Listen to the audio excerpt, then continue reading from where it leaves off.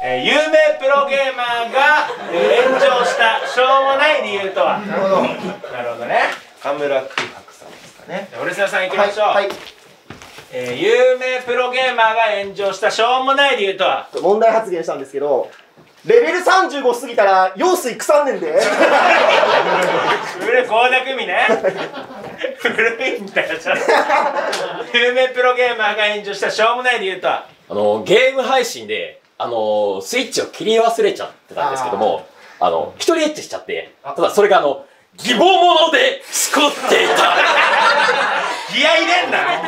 途中で腹立つ、えー、プロゲーマーが炎上したしょうもない理由とは？やっえー、多目的トイレで1万払って充電してた。そんな困ってたの？有名プロゲーマーが炎上したしょうもない理由とは？ウィンドランナーしかやらないこいつどうした？ってえー、有名プロゲーマーが炎上したしょうもない理由とは？あのー、スティックの動かし方がちょっとこれやばいんじゃないか？何がやばいんだ？何がやばいか言ってみろ。有名プロゲーマーが炎上したしょうもない理由とは？身長170センチ以上の男性の上で寝てたって しょうもなくないでしょそれはもう。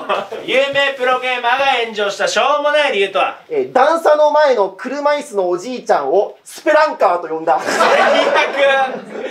最悪、えー、有名プロゲーマーが炎上したしょうもない理由とは？コントローラーを持ったまま徒歩なのに高速道路に踊り出た。そんなことするえー、有名プロゲーマーが炎上したしょうもない理由とは？晩ご飯のエビフライでピタゴラスイッチした。しょうもないな。有名プロゲーマーが炎上したしょうもない理由とは？彼女が H カップあんのにおっぱいパッド使ってる。いや憧れたよね中学生とかの時は、えー、有名プロゲーマーが炎上したしょうもない理由とは？えエッジコマンドを入力するとビアンカともフローラとも結婚できるようになり主人公がみるみる痩せる。最悪最悪。有名プロゲーマーが炎上したしょうもない理由とは？ドーピングをしていたから。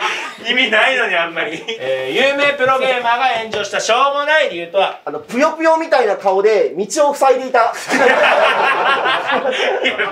炎上というかお邪魔お邪魔。お邪魔ぷよね。有名プロゲーマーが炎上したしょうもない理由とは？今からみんなでマリオカートしますって言ったら64のコントローラーに自分のチンチン